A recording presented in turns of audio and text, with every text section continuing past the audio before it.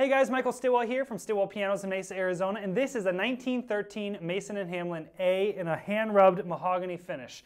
Now if you guys watch our YouTube videos, you know that Mason & Hamlin is my personal favorite piano. It's what I have in my house. In fact, I have a mahogany Mason & Hamlin in my house. Um, but this one we just finished. Uh, we did a really, really dark mahogany on this color um, and then rubbed it out with a 4-aught steel wool. We actually polished all the brass. We pulled the plate, refinished the plate, uh, shimmed the soundboard, refinished the soundboard with a new decal, uh, repainted all the tops of the damper heads and replaced all the damper felt, and then we completely rebushed the uh, action and installed new hammer shanks and flanges on the piano, um, all Renner.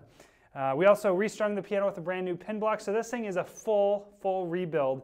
We love Mason and Hamlin A's. As you know, I buy any one I can get my hands on because they're just such sweet, perfect instruments. They're the perfect size. They're only five foot eight from the front to the back, so they fit in most people's houses, and they're just extremely overbuilt, well-made machines.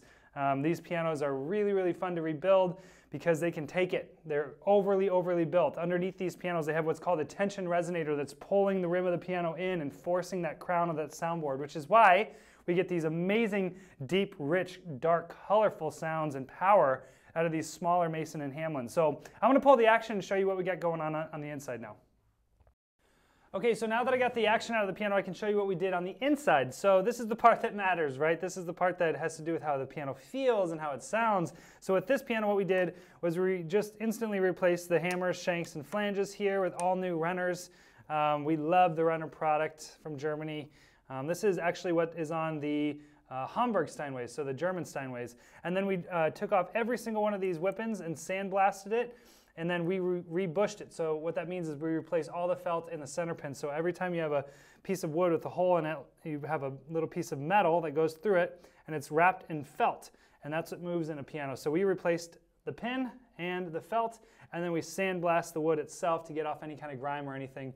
Um, so like I said, this is a full rebuild. We even put on new back checks and new let-off buttons. We rebushed all the keys um, and the balance rail and the front rail. We repainted the sharps.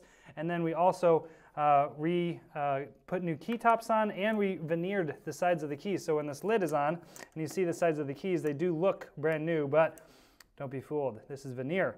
This is just for looks. Uh, we have the original key sticks still.